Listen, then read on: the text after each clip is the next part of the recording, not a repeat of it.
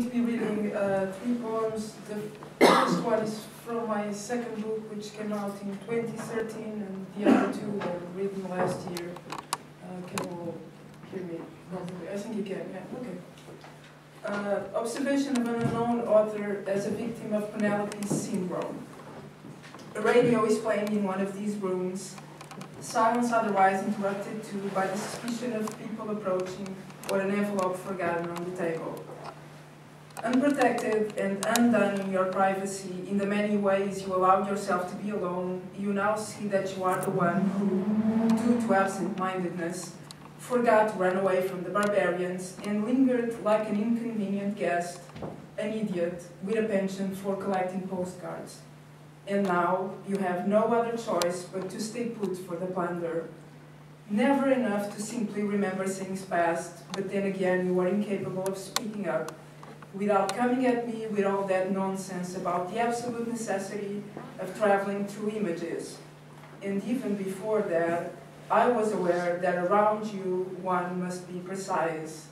Inaccurate coordinates can take you to the opposite polarity, to the precarious side of being the bearer of a given name, of never once having been truly coincident with an awareness of fear as something that articulates itself in the time it takes to make your guess.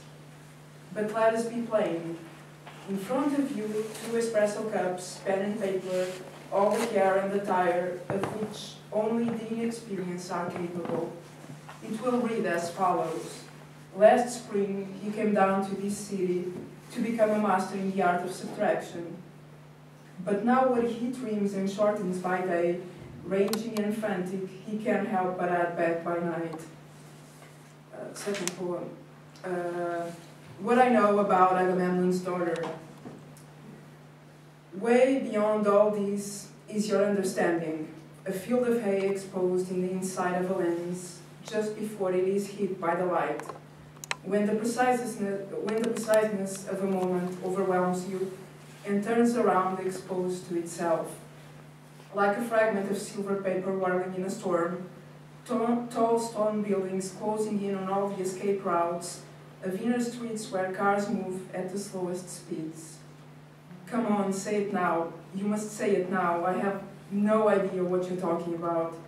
But that is not what I remember.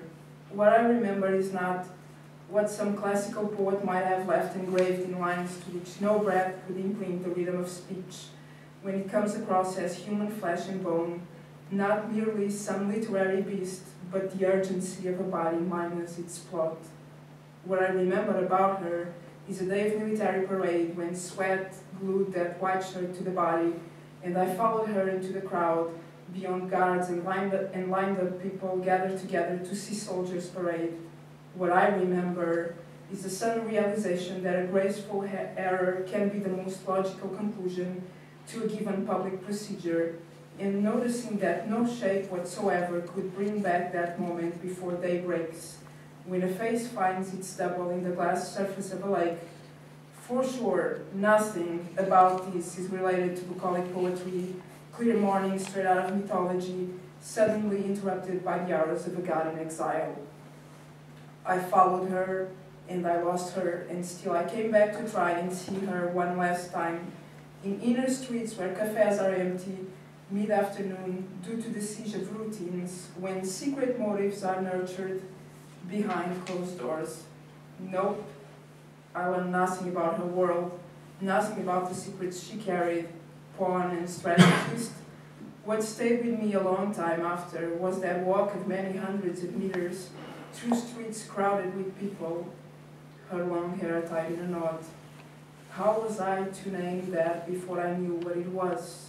Gold, dust, a paper cut in the memory of a ghost. Unavoidable, real, even before light hits the impersonality of an unfamiliar room after a night of insomnia. So, let's go. The writer's second wife. The writer's second wife lies buried not far from where he is buried. He at the center with an austere epitaph reading, he remained free forever. I am inclined to agree, even if I am not entirely sure what that means. Wooden cross and rope marking the place, and an austere high grave in black stone.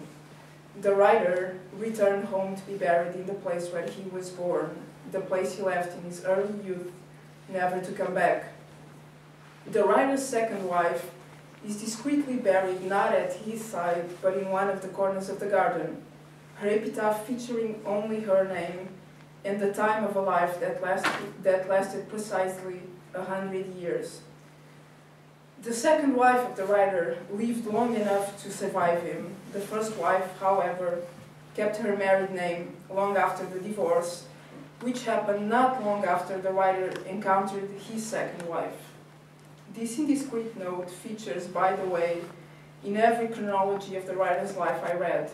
The bestowing of a name, first as a mark of possession, and then like the residue of gold dust that accumulates on collateral objects, objects that can be contaminated by the proximity of more expensive metals or misplaced like one of the many fragments of, the, of Venetian or Byzantine vases which fill in their patch-like form the rooms of the museum dedicated in this island to this writer. Like most accidental things, something fundamental is inlaid by the heavy blow of the hammer by violence and time in the harmony we cannot do without of what at first seemed an utterly irrelevant piece.